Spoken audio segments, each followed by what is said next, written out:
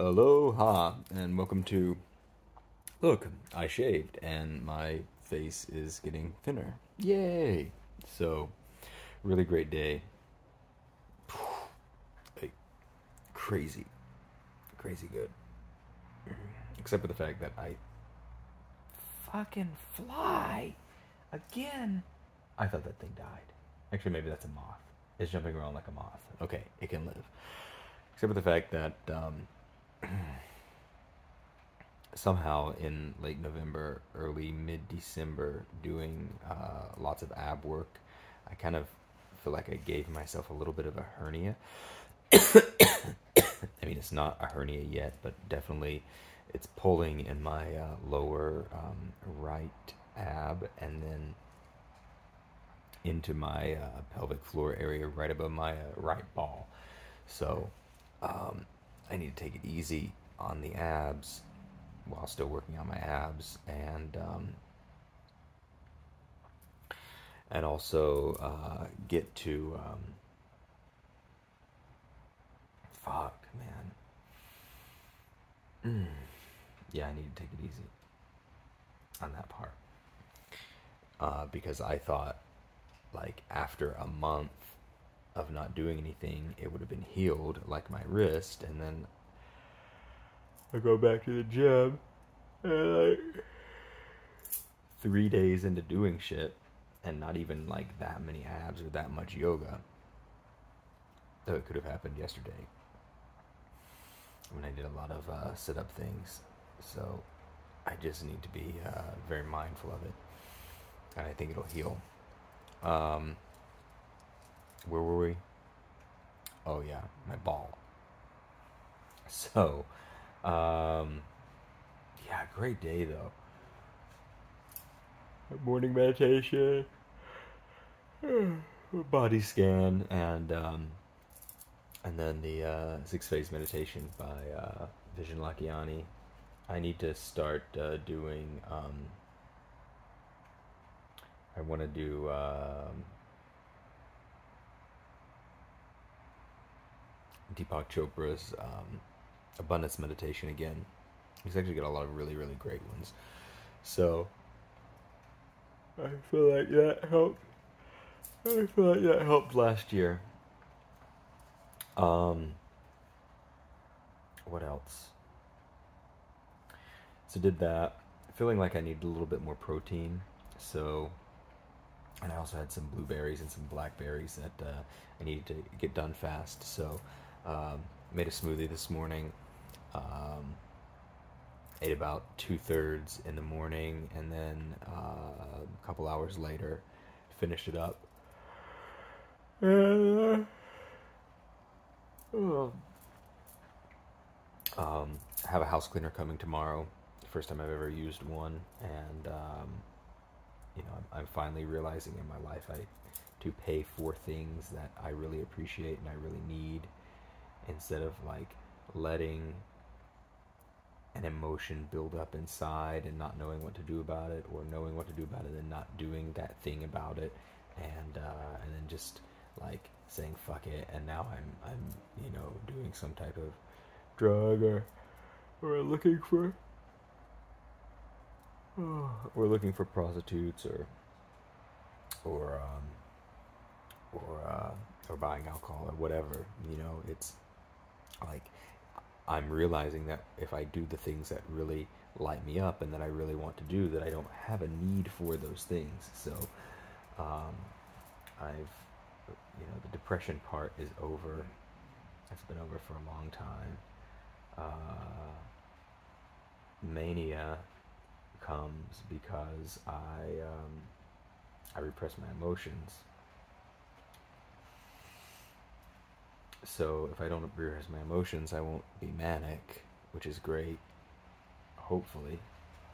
Though, who knows how much I fucked up my brain. So there could be some patterns in there. oh, lithium is awesome anyway. And has been proved to, you know, support your mood. And I think it does support. Oh, it's so cold and rainy tonight. Oh, I need a woman. So I mean, not need. I have a nice fluffy blanket. Anyway, Um, shake, morning, um, morning journaling, and then uh, pick up around the house. Finish repairing my surfboard I do a fucking terrible job repairing my surfboard. the the um first I didn't I didn't like clean it off, which I should have done. Stupid. I don't know why I didn't do that. I didn't like wipe it off with a fucking cloth or really sand it. I just like put the, the stuff on it, and then when I put the sealant on it, I didn't. Um, whatever. I did a shitty job. So no one's gonna steal my surfboard when it's outside in the locker. Jesus fucking Christ. Um, so, whatever. Uh, at least it's something to surf on, and it is embarrassingly bad. Oh, I need to buy a new one now. Fuck. Whatever. It's fine for being an outside surfboard.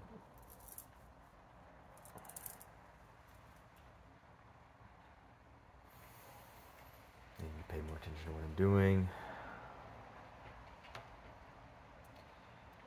Then I went and worked on my car a little bit, cleaned that up. Uh, I did a better job on that. And then um, I need internet for my house. I've been using uh, just uh, my phone internet for a couple years after I parted from the internet company, and then it's like.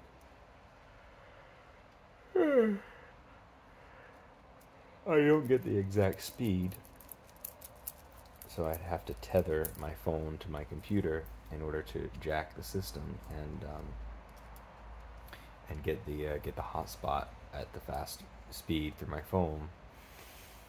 And that's annoying, and uh, and I have uh, university coming up soon, so I didn't want to go to the store, and I was like, Jesus Christ, how am I gonna get internet? And it was kind of in the back of my mind, like this thing that I needed to do and then I have to go to the place where I never go in order to get the internet. But then, oh, surprisingly, there was a salesperson in my neighborhood for some fucking reason. So I um,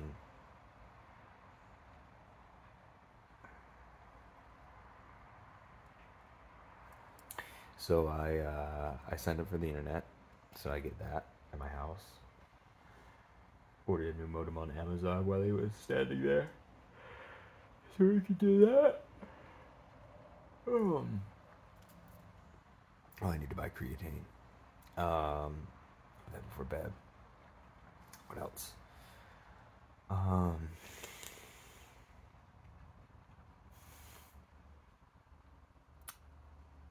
then I, um, a friend of mine gave me uh, an old Garmin uh, watch of his, and um, I used one in like 2002 and it was huge and it like did not really pick up the reception well. His picks up the reception really well. And uh, I had we wanted to run this trail yesterday. And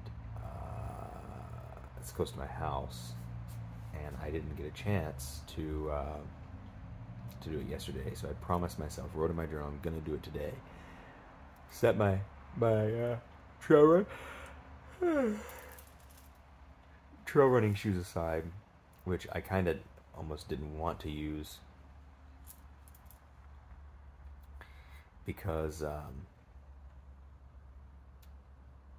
because I don't you know like running on the road with them can wear down the uh, the tread. And um, anyway I I Freudianly forgot them. And I'm running on the road in my flat Nikes, and uh, uh, I'm like, holy shit, I'm not going to be able to, uh, because it's raining today, especially. You know, I'm not going to be able to do the trail because I have on my these shoes and they're extremely slippery. And um, I said, well, okay, I'll just see how far it is to the trailhead. So I run to the trailhead. It's like 1.4 miles or something. Um, and then I um,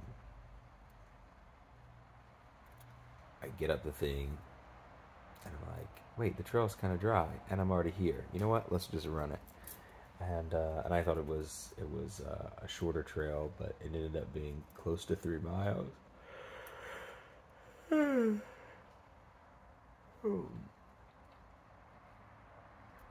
um, and then and then ran back home, so it ended up being like almost six miles of, uh, of running, which is, is fabulous.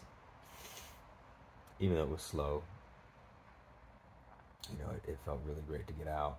And then I, I, came home, made it just in time for the, the, the woman that I'm seeing, uh, kind of seeing to get off work.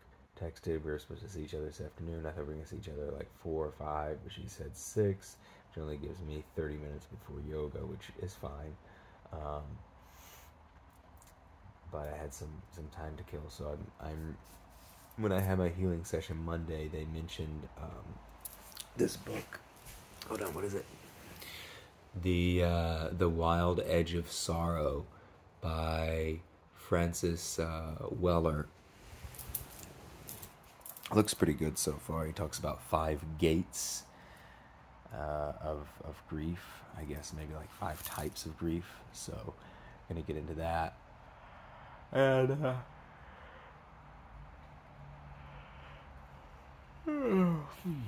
then I started, um, and I remembered that I, I needed to delete an online dating account that I created when I was manic, and I downloaded the app, went on it, didn't delete it, matched with a girl, started chatting with her, flirting with her. She's in a, in a similar group of friends, so you know, who knows what'll happen. Then one really, really fucking weird girl, somehow I matched with her. Whatever. Um, saw the girl that I'm hanging out with. Went to yoga, which was amazing. And uh, there's this, uh, there's a really cute girl, and they're so just funly flexible and sweet and um, oh and so I, we're, we're both in the back of the studio and then this uh, this one girl I haven't seen in like a month and a half two months. She runs up and she's like oh my god Charlie ah you're back. And I'm like oh my god you're back too. And we hug and, and it was really great. And then you know had a little conversation with the yoga teacher too. And you know this is all happening really close to the to the sweet girl. And I wanted to ask her out to a thing on Sunday, um, but uh, she uh, she left class early, but she did make it a point to uh, to smile at me, you know, and, uh, and acknowledge me, and that felt really good. So she's super sweet and cool. Yeah life is uh, life is great. And then uh, went to Walmart, got some things to fix my car, and then talked to a, a friend on the way home who gave me some insight. You know, we're we're kind of like opposite sides of the opposite sides of the mirror. You know, like I, I never really had a need to worry about money I was fine, you know, even not making a lot of money. Even though now I want to make a lot of money for future security, for retirement. And because I, I busted my retirement out after grad school. Oh, you don't even want to know how low I sold Amazon at. Whatever. What the fuck ever. Anyway, yeah, that low. So it's um yeah she she gave me some you know like hard work and, and crafting an identity, you know, are, are things that I need to work on more.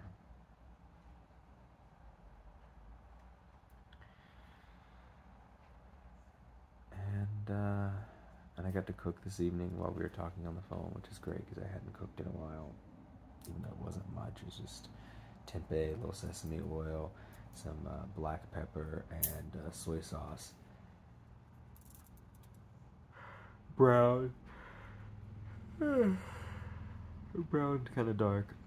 And then uh, I was out of guacamole. I really wanted guacamole, but all I had was hummus. So I uh, I put hummus in it, mixed it with hummus, and then, and then put it in a butter lettuce wrap. I didn't eat it at all, but um,